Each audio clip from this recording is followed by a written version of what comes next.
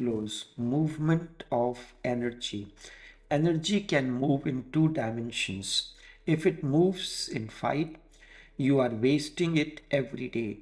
If it accumulates and there is no fight, a moment comes just like when you go on heating water to 100 degree Celsius, then the water becomes something else. It evaporates. Then it is no more liquid. It becomes a gas. It is, it will not become transformed at 99 degrees. It will become transformed only at 100 degrees Celsius. The same happens inward. You are wasting your energy every day and the evaporating point never comes. It cannot come because energy is not accumulated at all. Once the inner light is not there, inner conflict is no more. Once the inner fight is not there, inner conflict is no more, all energy goes on accumulating and you feel more and more strong as you feel it in so many ways that very often seeks seekers mention a feeling of expansion feeling of unexplainable joy and so on but not the ego the ego feels strong only when there is fighting when there is no fight the ego becomes important but you feel strong and that you is totally different thing. Seekers use the word I for this phenomena as well. You cannot know about it unless you are whole. Ego exists with fragments, divisions, and this you, the self, I, or what you we call the Atman or soul, exists only when there is no division, no inner fight. Atman means the whole, self means the undivided energy. Once this energy is undivided, it goes on accumulating. You are producing it every day.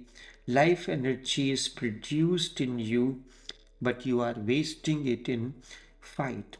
The same energy comes to a point where it becomes awareness, it is automatic. Tantra says this is automatic. Once you know how to be whole, you will become more and more aware, and the day will come when your total energy will be transformed into awareness. When the energy is transformed into awareness, many things happen because then the energy cannot move in sex. When it can move to a higher dimensions, it will not move to a lower dimension.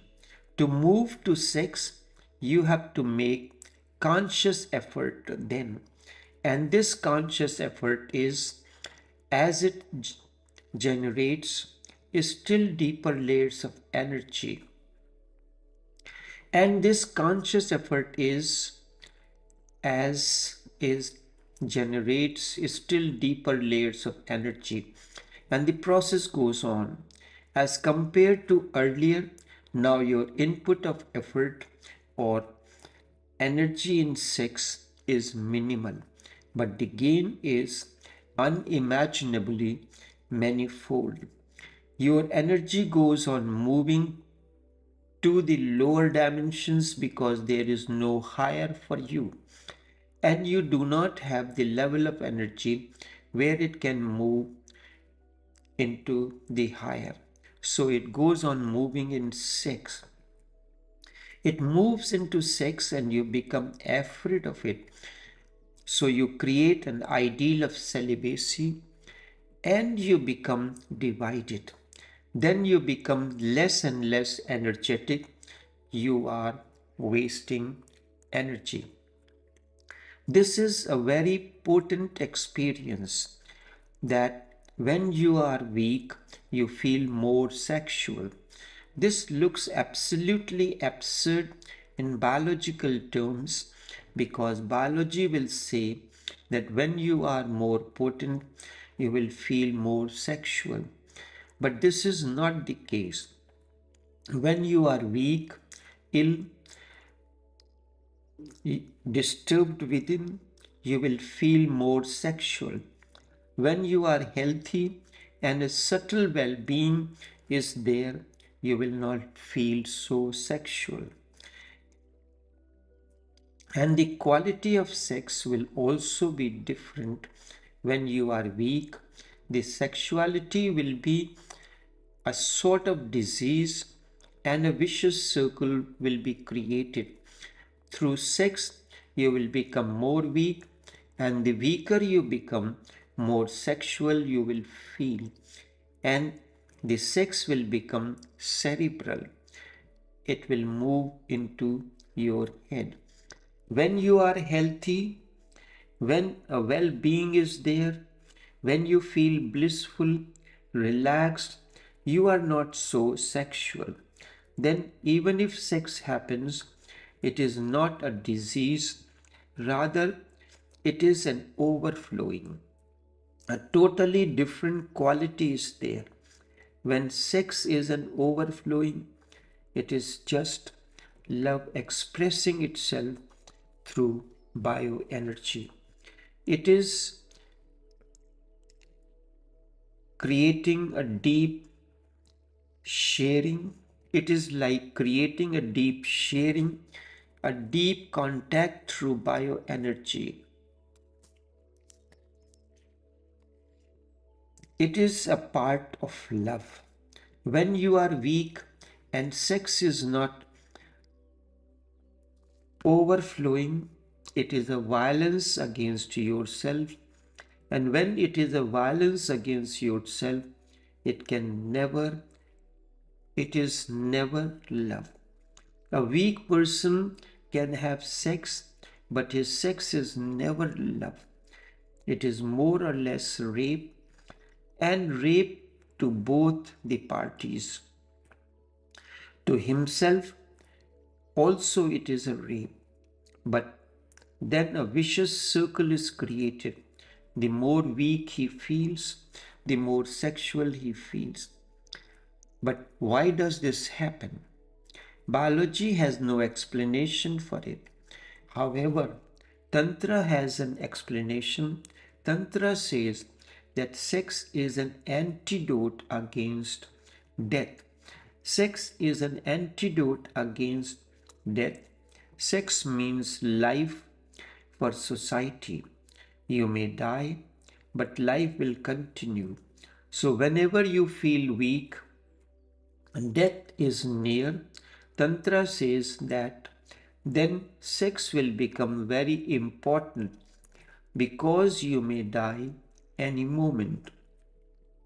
Your energy layer has gone down. You may die at any moment, so indulge in sex so someone can live and life should go on. For Tantra, old men are more sexual than the younger ones. And this is this is a very deep insight. Young men are more sexually potent but not so sexual. Old men are less sexually potent but more sexual. So, if we can enter an old man's mind, we can know what is happening. As far as sex energy is concerned, it is less in old men more in younger ones. But as far as sexuality is concerned, sexuality means thinking about sex. It is more in old men than in young one. Death is coming near and sex is the antidote for death. So now the weakening energy would like to produce someone life must continue. Life is not concerned with you. Instead, life is concerned with itself. This is the vicious circle. And the same happens in the reverse order as well.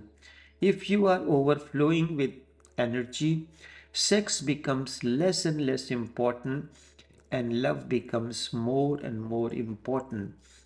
And then sex can happen just as part of love as deep sharing. The deepest sharing can be of bioenergy because that is the life force. So, whomsoever you love, you want to give something. Giving, sharing is part of love. In love, you give things.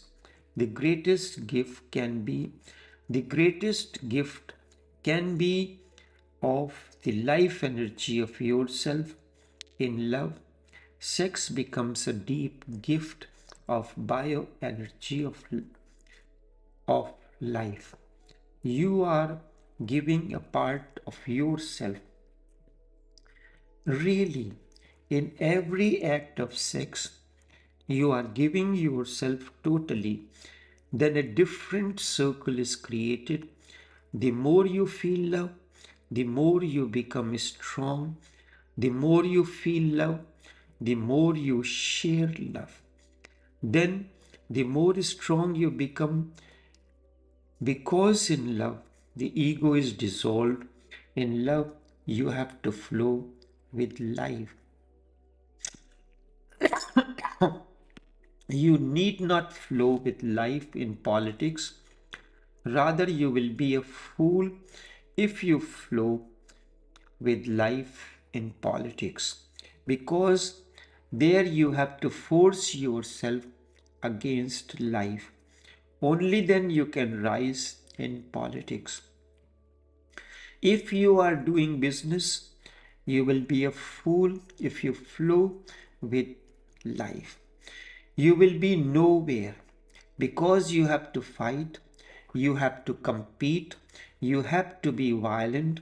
The more violent and the more mad, the more you will succeed there.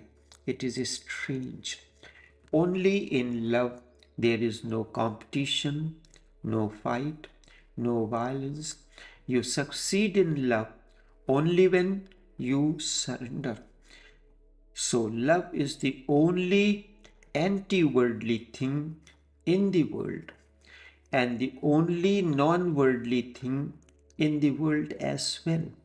And if you are in love, you will become more a whole, undivided, and then more energy will be accumulated. The more energy, the less will be sexuality, and a moment comes when the energy comes to a point where transformation happens. Energy becomes awareness. Sex disappears and only a loving kindness, a compassion remains. Buddha has a glow of loving compassion. This is sex energy transformed, but you cannot achieve it through fight because fight creates division and division makes you more sexual. This is the insight of Tantra, absolutely different from whatsoever you may have been thinking about sex and celibacy. Only through Tantra does a real celibacy, a real purity and innocence happens. But then it is not a result. Instead, it is a consequence. It follows total acceptance. It follows total acceptance. Enough for now.